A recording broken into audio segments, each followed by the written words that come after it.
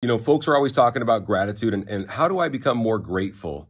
How do I just, you know, see more good in what's happening in, in the world and what have you? And a lot of folks say, hey, start a gratitude journal. Hey, that's awesome. That could work for you. That's fantastic. If it works, do it and follow those steps.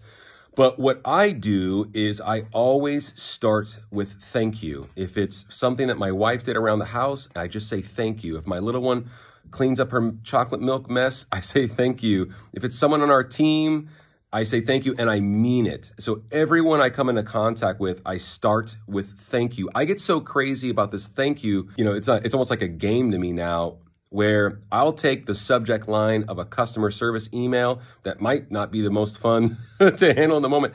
I'll completely change it and I'll put RE colon thank you and the first name of the recipient. That's how crazy I get about the thank you game and it's worked for me so well. I know if you impart thank you more into your life, it'll work for you. It'll allow you and give you the ability to become more gracious and have more gratitude. I know it's a buzz term. It's out on the internet a lot. It has been for a long time, but it's important.